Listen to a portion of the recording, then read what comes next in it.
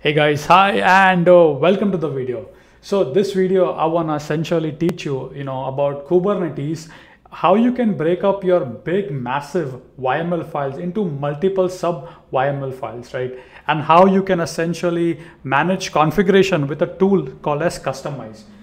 Uh, so for example, the goal or the idea is to have deployment.yaml, service.yaml, autoscaling.yaml, and then essentially call all those YAML in a customized customized uh, dot file YAML file, right? And then how we can apply patches for different environment, which means for QA testing or for dev testing, I just need two replicas. But when I essentially do a production test, I want to have 10 replicas. So instead of copy pasting YAML, hard coding stuff, we can use this tool called Kustomize.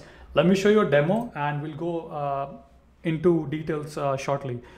So here is the official website. I encourage everybody to come here and read a little bit more here if you are interested. And of course, there are amazing talks, right? The way I educate myself is I may, I usually watch, you know, sessions and talks. That's how I learn the best and the most out of it, right? So um, now, previously, you remember we had so many massive files. So this this lab, that is lab number six, I have organized my projects essentially. If you see into multiple YML files. So take a look at it. So now I have a app folder and a deployment folder. In the app folder, I have app.py, docker file, requirements.txt, and my wsgi.ini. Now see what I've done. Deployment files, I have a compose file, I have environments and my Kubernetes. In my Kubernetes, I have all these files, for example, autoscaling.yaml, config.yaml, dashboard.yaml, deployment.yaml, Kustomize.yaml, metrics.yaml, service.yaml. So essentially, I broke down all of my big, massive files into small, small chunks, right? And then if you see environment, I have two environments. So for example, when I do dev testing, I just need two replicas. For my QA testing, I need four replicas. So essentially stuff like that. So uh, what customize says that, you know, if you wanna, first of all, uh, if you wanna do this, you can break stuff into multiple sub uh, YAML file. For example, I'll show you deployment.yml file, right? So here is my deployment.yml file that has essentially, you know, pod and the image, for example. Then I have autoscaling.yaml, which essentially does the autoscaling for me, right? uh, based on the uh, target CPU percentage about 50%, right? So essentially, and then I have my service um, which has my load balancer. So essentially I broke things into multiple files. Uh, hopefully you guys can uh, get what I'm trying to say. Uh, they say that you have to create a file called kustomization.yml file. And now instead of saying, you know, kubectl apply minus f service.yaml, kubectl apply minus f this file, that's tedious and boring. Define a resource and put all your files here, right? Now you can easily come here and say, for example, uh, if I wanted to show you, so I'm gonna come in the terminal and now I can easily say like this and look at the magic, okay? Let me clear my terminal. kubectl apply minus k and then you will say the folder name. Uh, let me come a directory back. So here you can see that's my Kubernetes folder, right?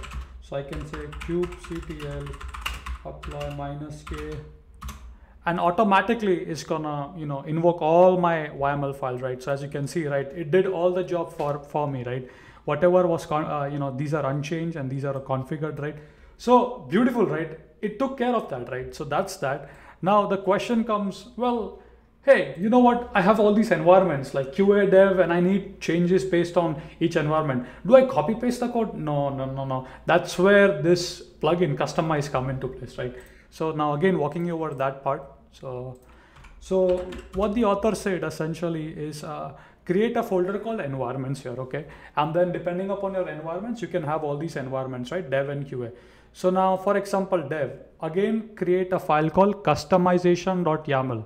Remember, this, this was also here, kustomization.yaml, right? So I created a file called kustomization.yaml, and then I'll show you uh, in a second. So now look what I've said. I said bases is equal to dot dot slash slash dot dot slash Kubernetes. So that's gonna be my base folder where you're gonna get all the data, right? All the YAML file, and then apply a patch, which means you know, I want to override, I want to override my YAML. If I'm working on my dev environment, use two replicas, right? So now the way this works is absolutely amazing. So uh, so I'll show you in a in a second so opening in, in this terminal now so clear dir okay so now uh, cd so cd environments. Okay just gonna show you. So here I have my dev and qa right? Uh, before that i wanna come here. Yeah so okay i think i gotta log put my token again so that i can show you before i run this command. Okay so pods all right so now take a look. Remember i have custom i've applied those patches right? So when i'm working in qa uh, if I can come here. Or so let's say when I'm working in dev I need two replicas. So now the way you work is you say kubectl apply minus f and the folder name dev. Uh, let me see. There is a small mistake. Uh, let's see. Give me one sec. Required field selector IO if you choose to ignore this uh, let me see what happened the, the reason it's oh uh yeah the I did not do it. It's k minus k not f. So kubectl apply k dev. So k uh, you can specify the flag and now you can see it automatically applies for my dev con configuration. In dev I specified four repli uh, two replicas right? Automatically it does that. Say now you're working on QA right QA you want to test with four replicas right so I provide my replicas and I said four right now I can just say QA and I do enter automatically now it's going to apply my QA configuration. So if I come here, as you can see four, and of course it has auto scaling, which means as the traffic comes, it's going to increase and decrease and, and so on, right? So what you see here is absolutely amazing because I could define my base uh, essentially YML, you know, like deployment service, namespace, and then wherever I want to apply patches, for example, I want to have a special configuration for QA or special configuration for dev, like for example, environment variables or a config map. I could easily do, do that using uh, this Kustomize, right? I, I, I liked it and I, I highly encourage everybody to explore this further. Uh, right uh, it's really amazing you can come to their official documentation and they have a lot of details here so i'm gonna leave my lab section as i'm gonna update the lab 5 to this code so essentially previously I had one file with everything inside that 300 lines of code, right? But now what we did is essentially we broke things into multiple YML files, right? Matrix server.yml, config.yml, dashboard.yml, deployment, custom, um, then uh, we have uh, matrix servers and service.yml, right? So essentially broke things into multiple YAML. Of course, we can break the resource object, the replicas and all, all that further as well. But I just wanted to show you uh, this tool and I hope you have enjoyed this. Uh, I hope you have enjoyed watching this tutorial. Uh, you can always go to the source code which is there on my github and if you have any more questions let me know uh, in the comment section below. I think my next uh, goals are gonna be exploring helm. So i've been hearing a lot of um, thoughts and feedback on helm right? So hey look into helm. So that's that's the thing that i'm gonna look into next after this part okay? Thank you so much and i'll see you guys in the next video.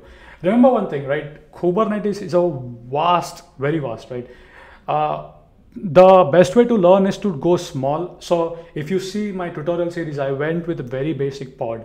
Then I essentially added probes into that. Okay, then I added replicas into that. And then slowly, slowly, slowly, I progressed down the line, right? I did not go for one entire load balancing, uh, auto scaling, everything, you know, everything in one. No, go slow, try things out, and that's the way you're gonna learn, okay? All right. Thank you so much for watching. Keep smiling. I'll see you guys in the next video.